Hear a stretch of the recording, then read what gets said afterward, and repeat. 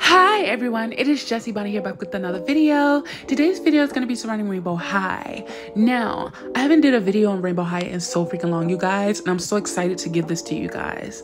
So, I came across this post on my For You page on Twitter, and they were like Rainbow High Series 8 leaks, and I was stoked to see this because I was so scared that because Rainbow High was like, oh, we're going to be doing a soft reboot, and that kind of like made me side-eye them. I was like, what? So, so right here in these photos, we have like these unicorn dolls. They do not look like your average Rainbow High doll. And I am so excited about this.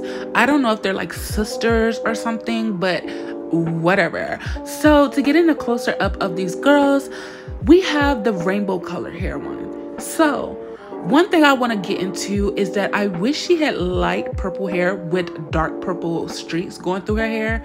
Um, it would have very much complemented her eyebrows because her eyebrows are purple.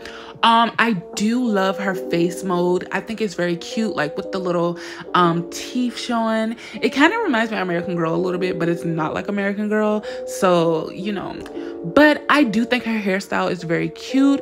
It does look like a you know how Rainbow High Dolls hair do be looking in the box. But um her outfit is kind of plain to me. But it's cute at the same time for her because it's matching her hair color and everything. But it's just simple. I like simple, but they could have added a little bit more to her when it comes to her whole outfit. Now, these dolls do not have shoes. Their their feet are more like a shoe in their foot at the same time.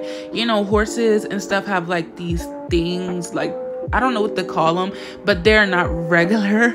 they're like hooves. I don't know what they call them, but it's just, you know, different. You know, you know a horse foot when you see it. So the next doll we have here is the purple one. They're both kind of purple to me, but this one is more purple she's like a light purple with um more of a like a different like color going in the middle of her face which is white um which i think that is a very cute detailed she has purple eyebrows as well i think. So i do think they might be sisters. I don't know. We will have to see you guys.